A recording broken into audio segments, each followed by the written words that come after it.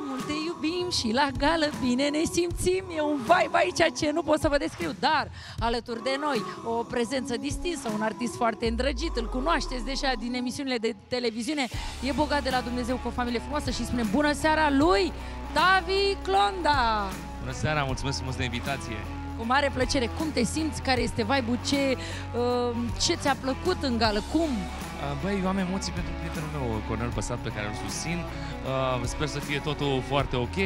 Îmi place ce se întâmplă aici uh, și abia aștept să vin și data viitoare. Ai intrat vreodată să, să lupți în cușcă? Aoleu, ce întrebare, mi s-a mai uh, pus întrebarea asta. Nu știu, de când am fetițele, parcă am intrat așa într-un uh, uh, proces de autoconservare, mi-e frică să sar de la înălțimi, uh, e o chestie, nu știu ce să zic, acum aș spune Totuși nu. ai făcut-o. Am făcut-o, da, da, dar uh, după un an, doi. dar nu știu ce să zic. Dar să spunem dacă ai un vecin care te-a supărat sau cineva de prin showbiz care te-a supărat și te-ar provoca, ai accepta o provocare? Băi, să nu fie prieten, să nu-l cunosc. că Eu pe prietenii îi pup, îi iubesc, că le, îi cinstesc. că Nu știu ce să zic acum. Vecinii nu. Cu vecinii nu te cerți. E regulă pentru că acolo stai o viață întreagă, dar fără vecini. Cine te provoacă? Tavi îl cinstești cu un pumn. Dar în gala Eric Sef, avizată. Da, vom vedea.